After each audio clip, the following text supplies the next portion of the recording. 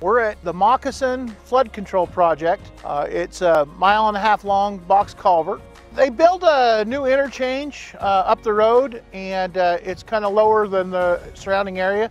So this job facilitates the water to get from that, that low spot out to the Las Vegas wash. Well, in Las Vegas, it's kind of unique. This type of project is pretty much the norm here. Elsewhere in the country, they might use a larger diameter pipe to put in the ground to, to carry the flood water away. Because of the arid, arid climate, the material gets compacted. We might get an inch of rain in 15 minutes. Hardly any of it soaks into the ground, so it all runs off. The boxes are convenient. We put them down deep enough, then they can layer the other utilities on top of those and they get the most bang for their buck in a street. We start with an excavation. We excavate down to the about a foot below the, the bottom of the invert the boxes final grade it to, to make it so that the box is set level. They take and they, they lower it in place and they uh, pull, the, pull the box joints tight with a, we call it a pipe tugger.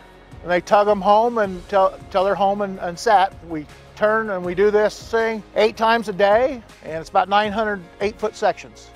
I drive around town where some of the first work we did 26 years ago and uh, the road hasn't been repaved. I just I'm happy that it's held up. Once it's covered up, nobody knows what you've actually done. It does have a sense of pride to, to what we do.